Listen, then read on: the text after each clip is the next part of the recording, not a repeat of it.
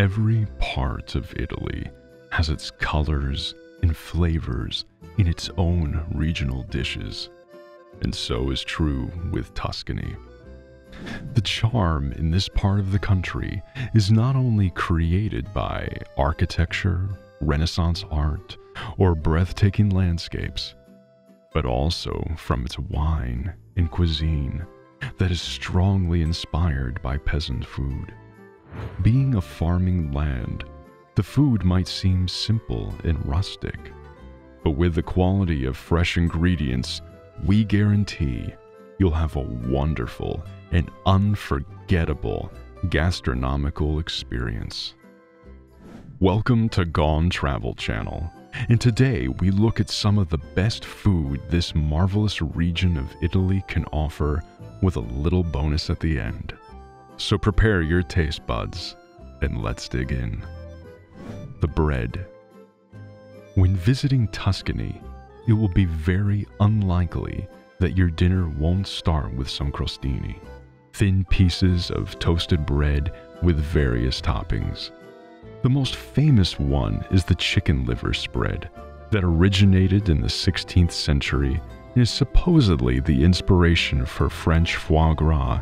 Another typical topping is the lardo, a delicate slice of fat bacon or burrata and truffles that are a specialty in this region and are an important ingredient in lots of dishes here, especially in autumn, as the main truffle hunt occurs from October through late November.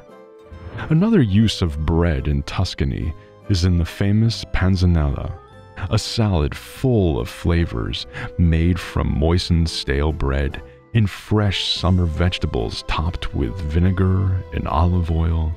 An easy and delicious dish you can prepare also at home. The soups. When we speak of Tuscan soups, we don't think of liquid chicken broths.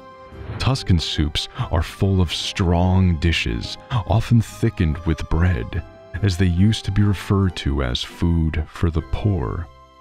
One of the most famous ones is Pappa al Pomodoro, a thick tomato soup with basil served as a comfort food in the wintertime, but can be prepared also in room temperature during the warmer months.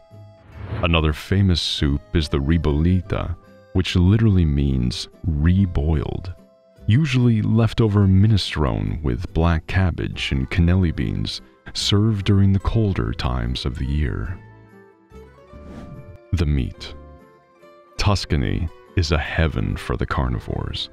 One of the most famous dishes here is the bistecca alla fiorentina, a large T-bone steak from a local breed cow grilled on coal and accompanied simply with rosemary, sage, and some olive oil. The original Fiorentina is served blue rare or al sangue, so be prepared to adjust the order to your taste preferences. Another famous use of meat here is the wild boar or cinghiale, and is a tasty and juicy delicacy. A famous use of it is in the ragu, served over some homemade pappardelle. Um, a dish worth traveling for. The desserts. No dinner would be complete without a proper dessert. Castagnato is a cake made from chestnut flour that gives the dessert an earthy flavor. Raisins and pine nuts sometimes accompanied with rosemary. One of the best known sweet treats are cantuccini, or biscotti di prato, made from flour, sugar, eggs, and usually almonds. You can eat them with your espresso or vinsanto, a dessert wine perfectly suited for dipping them in. Another typical treat from Tuscany is the panforte, a chewy dessert filled with nuts and fruits that is eaten all over Italy usually during the Christmas time.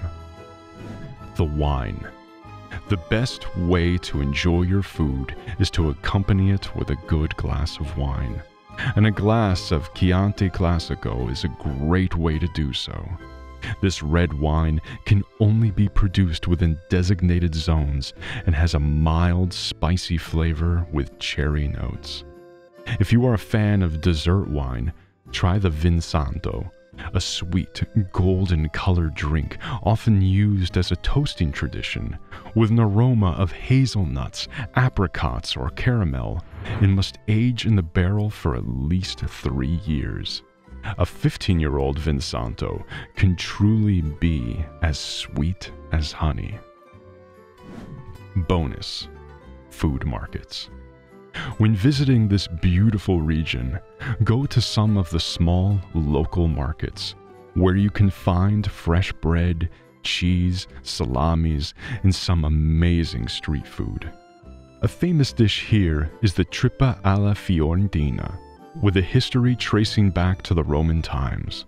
It is a dish prepared with beef intestine in a tomato base, topped with pecorino. Another tasty dish is the bollito, tasty beef meat cooked for a long time in a vegetable broth and topped with salsa verde.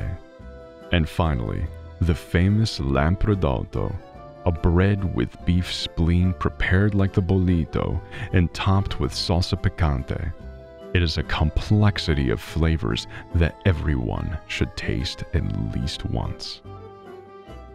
This is only a small list of tasty food that will await you in Tuscany. Did we inspire you to make a trip to this marvelous part of the world? What are your favorite Tuscan dishes? Let us know in the comments section below and keep watching our videos.